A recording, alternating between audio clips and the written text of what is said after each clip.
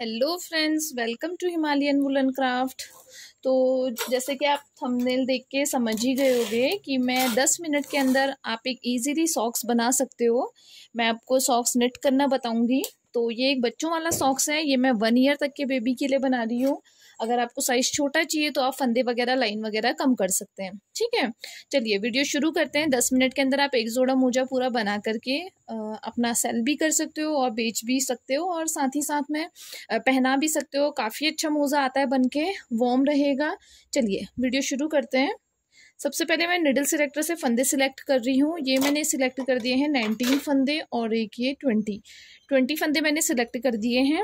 Machine को रखा है मैंने आठ नंबर में और धागा लगा लिया है। सबसे पहले मैं अपनी फ़र्स्ट रो चलाती हूँ। फ़र्स्ट रो मैंने निट कर ली है। अब इसके बाद अपना आप ये कांटा पकड़ो और कांटे को आप इसमें लगा लो। हमने इसे ऐसे करके फिट कर लिया। अब मैंने इसमें अपने दोनों वेट लगा लिए। ठीक है?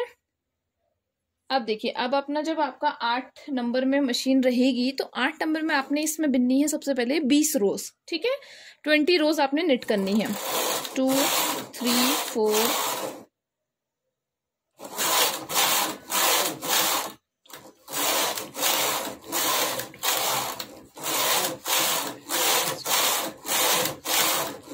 twenty.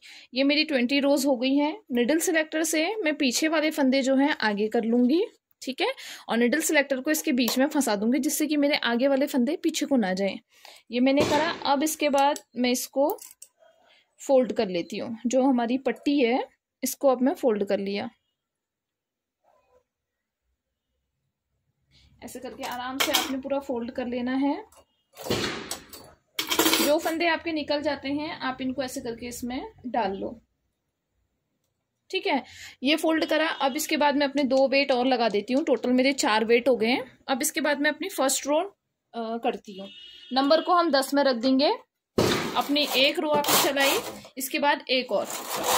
दो रो आपने चलाई। अब मैं इसको थोड़ा सा मल्टी कलर बना रही हूँ तो मैं अब इसमें दूसरा कलर लगाऊँगी। ठीक है?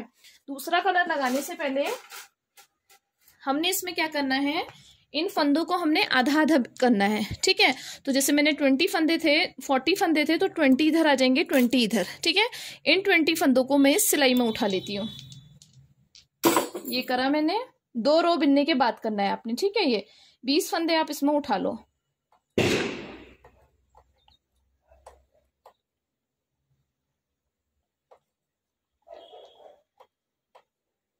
ये ये मैंने बीस फंदे इसमें उठा लिए।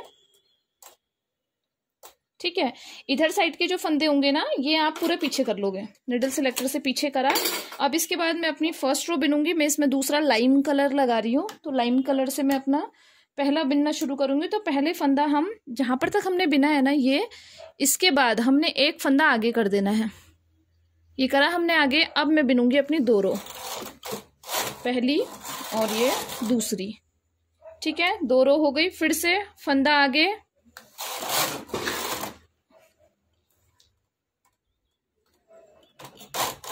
दो रो और बिन लिया ठीक है? ऐसे ही करके आपने जो है ना, अपने यहाँ पर को ट्वेंटी रोज निट करने हैं। अब आप अगर प्लेन कलर कर रहे हो तो तो आप सिंपल ऐसे दो, चार ऐसे करके बीस लगातार बिन लो। अब जैसे मैं यहाँ पर दो कलर लगा रही हूँ ना तो फिर अब मैं इसको छः छः का कलर दे कॉम्बिनेशन दे रही हूँ। तो मैंने छः लाइन मेरे हो गए, अब मैं छः लाइन करूँगी ग्रीन से। वही करना है, फंदा एक आगे करेंगे और दो लाइन बिनेंगे। ठीक है? फिर से फंदा आगे। दो लाइन।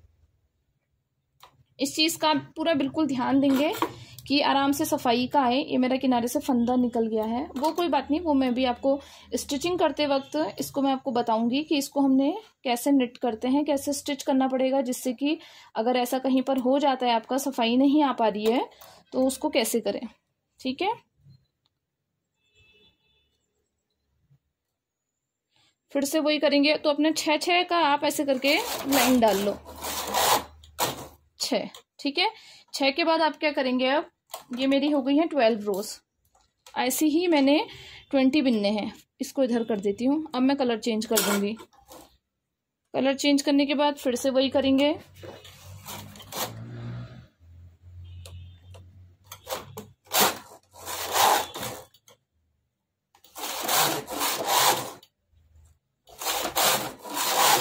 ऐसे। मैंने ये छह रो बिनने हैं तो छः छः छः अट्ठारह हो गए हैं लास्ट वाले को ग्रीन करूँगी। वन और ये टू ठीक है, अब देखो आपने क्या करना है? आपने छः ये बिने छः छः छः यहाँ पर तक आपके बीस आ गए तो हर एक फंदा आपने इंक्रीज करते रहना है, सिर्फ़ बीच वाली साइड से। ठीक है? इधर से नहीं, बीच वाली साइड से। ये मैंने जब करा, अब इसके बाद आपने छह रोज प्लेन मिलनी है। One two three four five six six rows जो है, आपने प्लेन निट कर लिए। ठीक है? अब हम क्या करेंगे? इधर का पोर्शन जो है, सिलाई में निकाल लेंगे। इसको जो है, मैं यहाँ पर से इसको पूरा सिलाई में उठा ले रही हूँ। ठीक है? अब ये हमारा एक साइड का पोर्शन निट हो चुका है।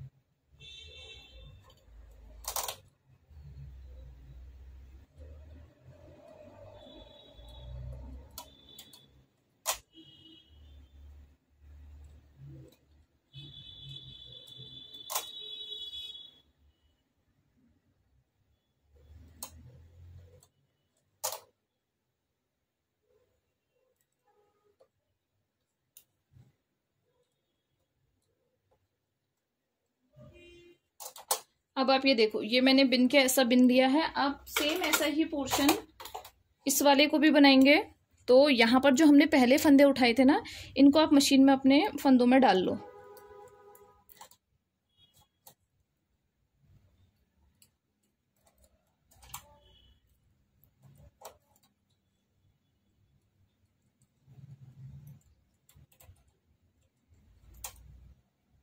अगर पहले वाले पार्ट में आपको नहीं समझ आया है तो आप इसको देख लो। मैं इसमें आपको दोबारा से बता देती हूँ। दो कलर और सिंगल कलर पूरी तरीके से आपके ऊपर डिपेंड है, आप कैसे बनाना चाहते हो। ठीक है? तो मैं जैसे दो कलर लगा रही हूँ, आप सिंगल बूल भी कर सकते हो। तो ये मैंने अपना तागा लगाया। अब आपने जो भी ये पट्टी है ना, इसके बीच में उठना है। तो पहले हमने इधर साइड से करा था तो अब हम इसके इधर साइड से करेंगे। एक फंदा हमने आगे करा और ये चलाई हमने दो लाइनें। दो लाइन चलाई, ठीक है? फिर से फंदा आगे करा और दो लाइनें। फिर से फंदा आगे, दो लाइनें। छह रोज हो गई, अब हम लगाएँगे इसमें ग्रीन कलर। फंदा आगे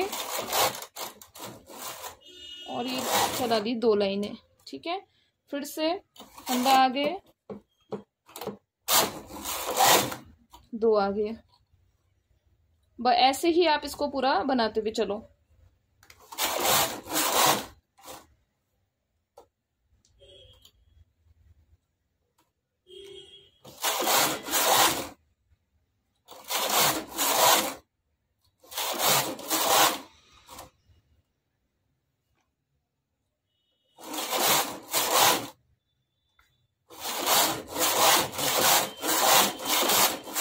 लास्ट में बीस लाइन होने के बाद छह लाइन आपने प्लेन ज़रूर बिनना है ठीक है? वरना बच्चे के पाँव का ना सीधा एक कोना सा निकल जाएगा वो नहीं आना चाहिए। अब इसके बाद क्या करोगे आप? इस वाले पोर्शन को निकालोगे लेकिन इधर साइड से ठीक है? इसको भी आप अपनी सिलाई में निकाल लो। आ, आप ये देखो ऐसा कुछ आपको मिलेगा ठीक है? ये पोर्शन वो है जो हमने किनारे का यहाँ फंदे नहीं बढ़ाए थे ये पोर्शन वो है जहाँ पर को हमने फंदे बढ़ाए थे। ठीक है? अब हमने क्या करना है? दोनों सिलाई में आप जब इसको ऐसे करके लोगे तो आपने अब एक तीसरी सिलाई लेनी है। तीसरी सिलाई से आपने एक फंदा इसका निकाला और एक फंदा पीछे वाले का। ऐसे, ठीक है? दोनों में धागा क्रॉस कराएँगे और इसको ऐसे सुलटा बिन लेना है आपने। ऐसा, ठीक है? ये, फंदा निकाल दिया, दोबारा से वही करो। एक इसका करेंगे, एक इसका धागा क्रॉस कराया और फंदा निकाल दिया। ठीक है? आपके पास अब इस सिलाई में दो बचे। तो इन दो में पीछे वाले को पहले वाले से ऐसे क्रॉस करा दोगे। ठीक है? दोबारा से यही करेंगे। एक फंदा इसका, एक फंदा दूसरे का। ठीक है? एक एक फंदा लेके धागा क्रॉस कराया और पीछे वाले फंदे को पहले फंदे से ऐसे कर देंगे। ठीक है? तो आपके जो है ना, यहाँ पर कैसे फंदे घटते हुए चले जाएँगे।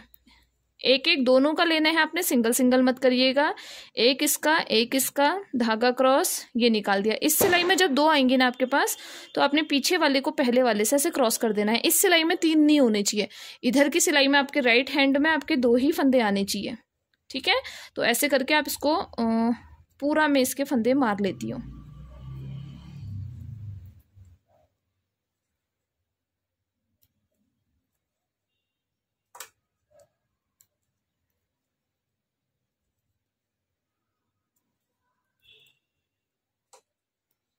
तो आप ये देखो ना, मैंने ये सॉक्स पूरा कंप्लीट कर लिया है। जब आप ऐसे करके यहाँ पर से फंदे घटाओगे ना, दोनों को साथ में मिला के, जो मैंने आपको फंदे घटाने बताया था, उसके बाद आपने क्या करना है, इसको आप इस पोर्शन में सिलोगे।